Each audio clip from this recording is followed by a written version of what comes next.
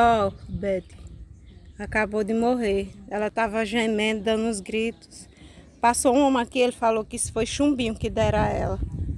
Povo ruim aqui, ó. Matando os cachorros assim, dessa forma. Maldade. A bichinha tava sofrendo que só.